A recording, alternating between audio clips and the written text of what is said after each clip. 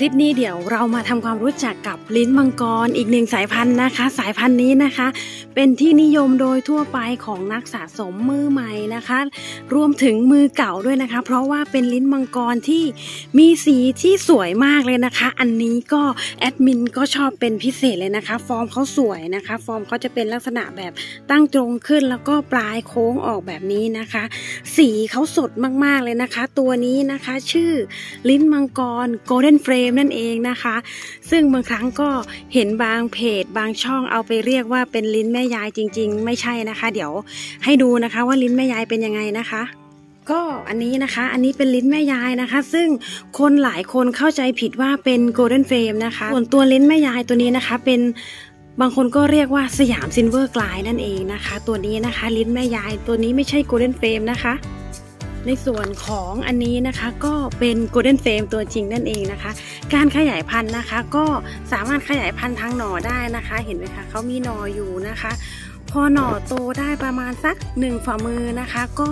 สามารถแยกได้แล้วนะคะ หน่อของลิ้นมังกรทุกชนิดนะคะ ยิ่งอยู่ติดกับต้นแม่นานเท่าไหร่นะคะเขาก็จะ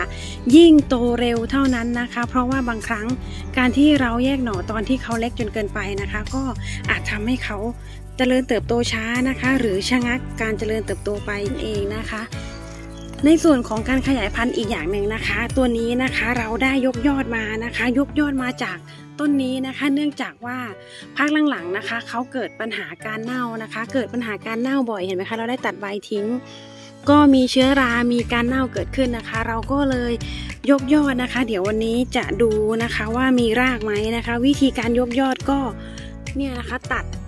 ตรงยอดเขานะคะ แล้วก็เราเอามาทาปูนแดงนะคะ ทิ้งไว้ให้แห้ง 7 วัน แล้วก็นำส่วนยอดมาปักชำในหินภูเขาไฟ หรือกาบมะพร้าวสับก็ได้นะคะ อันนี้ก็ประมาณ 2 สัปดาห์แล้วเดี๋ยวเรามาดูนะคะ ว่ามีรากหรือยังนะคะ เพราะว่าจะได้เปลี่ยนกระถางด้วยเลย เดี๋ยวสักครู่นะคะ เดี๋ยวดึงให้ดูเนาะอ๋อเนี่ยค่ะ ก็เห็นไหมคะว่าส่วนยอดเขาก็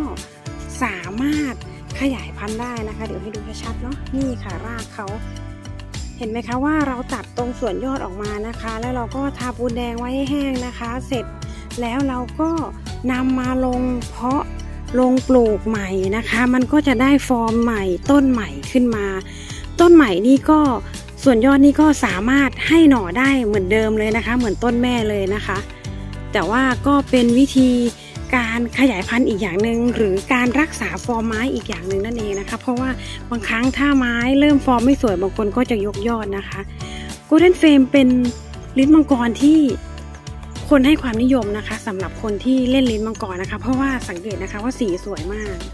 เนี่ยค่ะ สีลวดลายคล้าย ๆกับ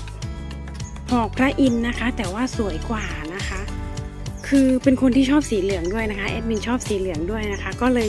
ชอบ Golden Frame เป็นพิเศษนะคะ เมื่อก่อนนี้มีเยอะนะคะ แต่ว่าแบ่งเลี้ยงไปเยอะแล้วก็เกิดปัญหาการเน่าเยอะก็เลยเก็บไว้เลี้ยงเองแค่สองสามกระถางนะคะ ก็วันนี้นำมาให้ชมกันนะคะสำหรับลิ้นมังกร Golden Frame นะคะ ก็ไม่น่าจะเกิน 400 นะคะ เพราะว่าช่วงก่อนหน้านี้ก็ราคาแรงไปถึงกระถางหนึ่งเกือบพันบาทเลยนะคะ ตอนนี้ก็เริ่มซาซาลงมาแล้วราคาเบาๆลงมาแล้ว ถ้าใครอยากเก็บไว้สะสมนะคะ ในคอลเลกชันก็รีบเลยนะคะสำหรับ Golden Frame นะคะ